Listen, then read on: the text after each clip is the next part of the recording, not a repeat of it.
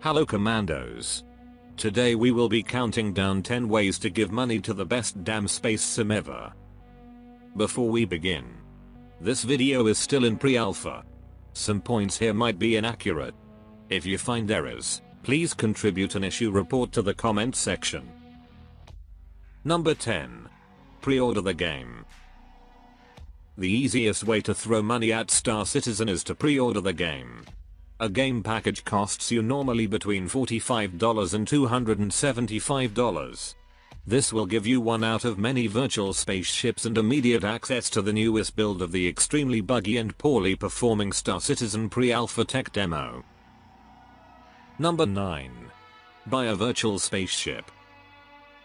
Chris Roberts did not yet tell us in what decade he wants to release Star Citizen, but he already wants you to buy DLC for the game.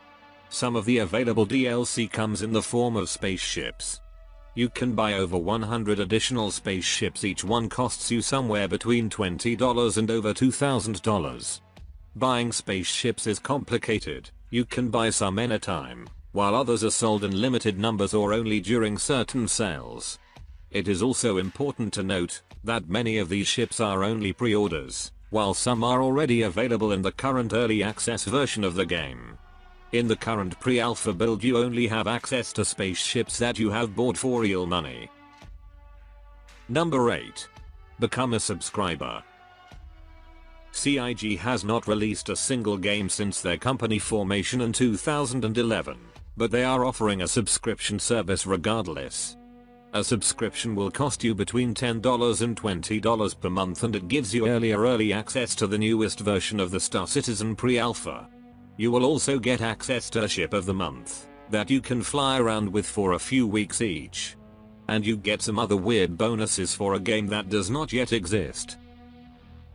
Number 7. Pay for CitizenCon. Without having released a single game CIG nevertheless holds a yearly fan convention since 2013, called CitizenCon.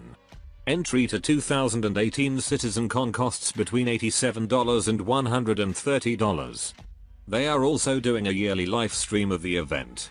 This year CIG wanted to lock parts of this live stream behind a paywall. It would have cost over $20 to watch the stream. They reversed this decision one day later and refunded everyone who bought one of those digital tickets. Number 6. Get a new SSD. In 2017 Intel partnered with CIG to offer fans a limited special edition of their new SSD Series that included an exclusive spaceship for Star Citizen. Prices for the bundle started at $389. Number 5. Shut up and take my money. In 2013 CIG started taking money for a pre-order of a skin for Star Citizen. The skin is called Shut Up and Take My Money add-on. It will only cost you $5 and no one knows what the skin will look like or when it will be available. Number 4. Buy Star Citizen hardware.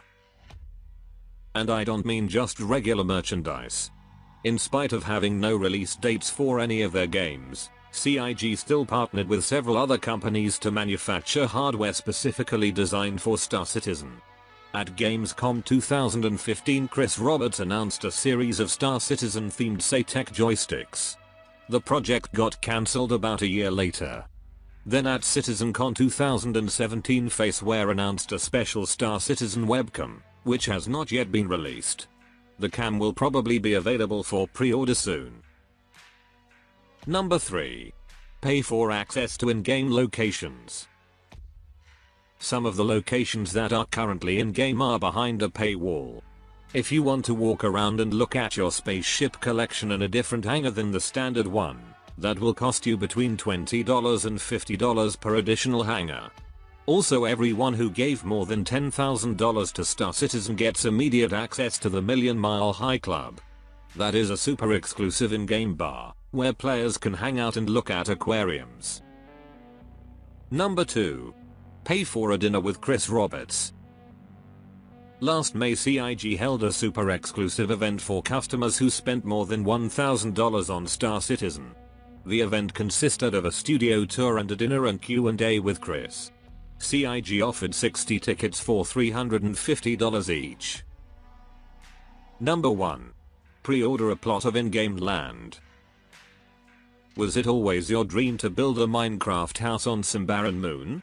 Well since the end of 2017 you can pre-order the ability to claim regions on virtual planetoids that have not yet been created in a game that has not been released. And at some point players also might be able to build houses there. That's the end of our list. Until next time I will see you around the verse.